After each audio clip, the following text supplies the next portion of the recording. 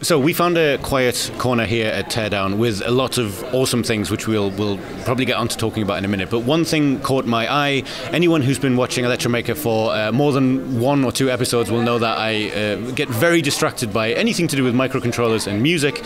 Um, and I think there are many folks out there that watch the show who are in that crossover of people who are into embedded and uh, hobby electronics, and also small samplers. The shining example these days, of course, being the pocket operators and things like that. And this is definitely uh, something that comes from that. So AudCalc is your creation, and am I right in thinking it sort of came from that idea of wanting to do more with the small sampler and then ending up with something that was completely custom? Yeah, so I I used to do a lot of like portable music stuff, like Game Boy music, and the pocket operators are obviously an inspiration. Like this was me being like, I want a pocket operator, except I want to write my own firmware for it because that seems like fun. I like writing music code. Uh, and then four years later, I have this thing. So um, it's yeah, it's a little bit different than a pocket operator. It's about the same form factor, but um, I went way overboard adding MIDI in and out and like USB MIDI and uh, sampling and a bunch of synthesizers and all that stuff. So yeah.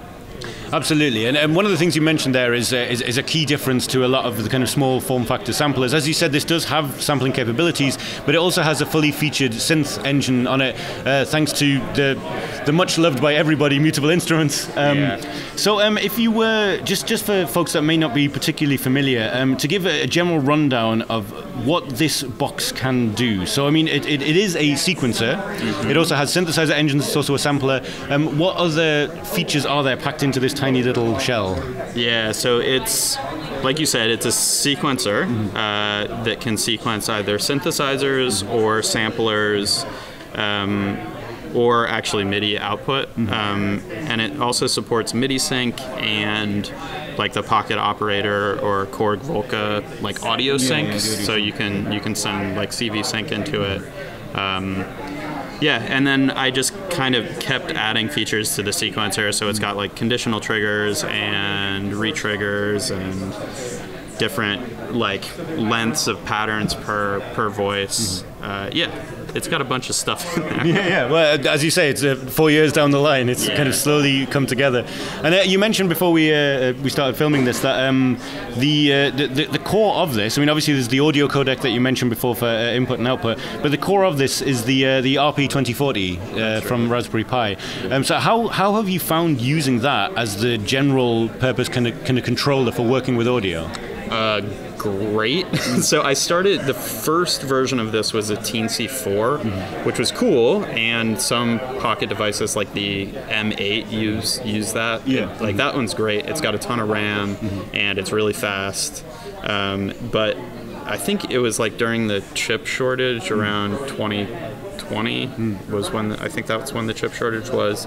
Uh, when the RP 2040 came out, I could buy them and actually use them, and I found that they were like good enough for running everything that I wanted, and like you know, I, I added like reverb and, and all the synths, and they just kept running. Like yeah. I kept adding more stuff, and it kept working. So it's fine. Like I, I have no complaints about it. Um, I like I totally recommend it to people. I probably wouldn't build something this complicated with it again. I'd do yeah. something like more focused, like a single module, mm-hmm. like rack module or something. Um, but yeah, it, it's a great chip to use for audio.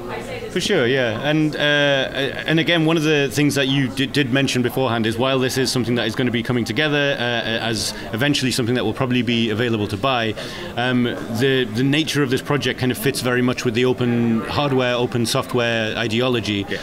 Um, so theoretically, it would be a nightmare for them to do so, but theoretically, someone could get the design files and spin one of these up by themselves. Yeah. Um, as you mentioned, this is still in the early stages; it's not ready for release, and there isn't really much of a presence of it online so far. But if people do want to kind of keep up with the project, do you have a like a point of contact, like a, a, social media account or something that you use for that? Yeah, so you can find me on GitHub at slash J O N B R O, mm-hmm. Jon Bro, and then I'm somewhat active on Instagram, J O N B R O five five five six mm-hmm. on Instagram. Um, yeah, I'll I keep it updated. But the the project's on GitHub already. If you want to just grab I don't think I posted the Gerbers, but you can grab the KiCad files and all the enclosure files and the firmware compile it yourself, add new features if you want. So yeah. Absolutely, and and as much as that's a wonderful thing, and there may be a few people who would take that on, I imagine there'll also be a, a, number of people that will be really happy to see yet another really fully featured mini synth and everything pocket thing. But yeah, it, congratulations! I've been playing with this thing, and it's an absolute thing of beauty. Cool. Thank you so much. no worries. Wicked. And I'm literally going to sit like this.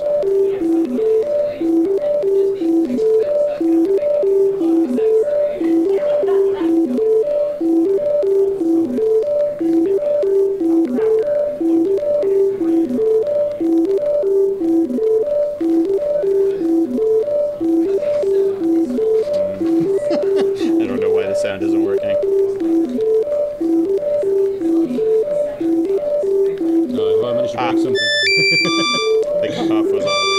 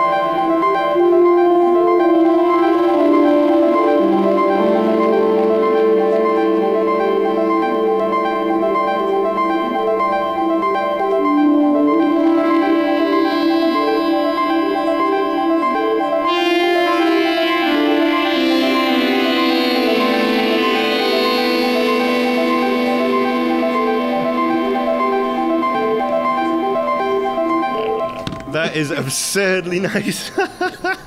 Thanks. You didn't find the reverb when you were playing. No, no, no. Yeah, I was, I was